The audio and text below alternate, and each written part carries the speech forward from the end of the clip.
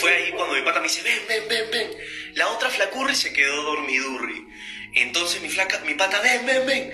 Yo me he puesto a Troya con mi caballito galopea, galopea. He empezado a darle, pero con todo. Le metí nitro, le metí óxido nitroso. Pa, pa, pa, pa, pa.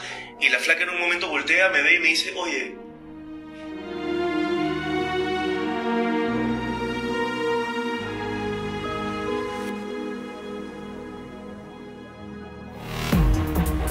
El consentimiento es una decisión libre y consciente que nos permite relacionarnos a nivel física, afectiva y emocional. Por eso es imprescindible que pueda ser libre, informada, consensuada y entusiasta. Entusiasta porque no basta decir sí por presión, sino que la persona tiene que estar completamente convencida de aceptar. El 58.9% de personas en el país justifica o tolera las violencias hacia las mujeres. Esto es según Lenares del 2019. Y precisamente este caso lo constata así.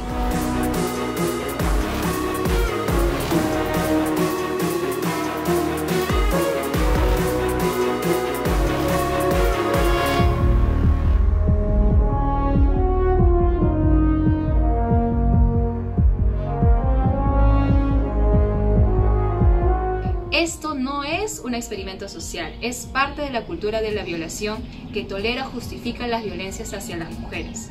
Nosotras, nosotres, no estamos exagerando. Si no existe de por medio consentimiento, es violencia sexual.